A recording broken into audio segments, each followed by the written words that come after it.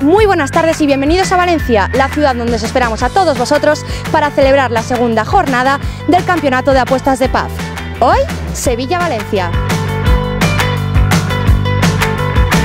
Después de la primera jornada en Barcelona ya tenemos dos clasificados provisionales para llevarse el viaje a Finlandia.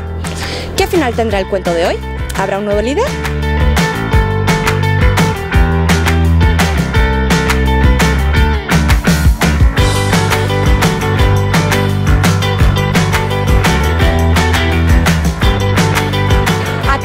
Comienzo la segunda parte del partido, donde cada minuto que pasa se respira más tensión, más emoción y más nervios entre todos los espectadores.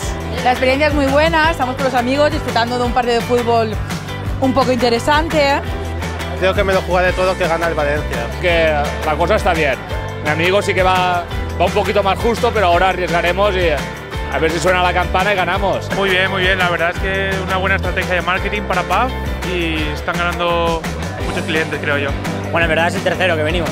ya no, falla- no hemos fallado ningún año. Bueno, nosotros hemos apostado a que gane el Sevilla. La comida increíble como todos los años. Está muy bueno. Invito a un amigo y que le he dicho que, que iba a cenar de lujo.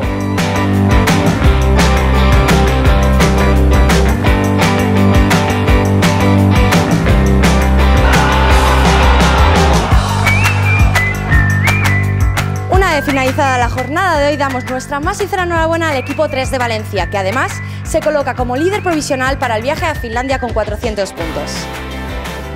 Yo he venido todos los años que, que lo habéis hecho y el primero también lo gané. Ha sido suerte. Eh, hemos ganado por suerte. Y hasta aquí todo por hoy. Muchísimas gracias, muy buenas noches a todos y hasta la próxima parada. Madrid.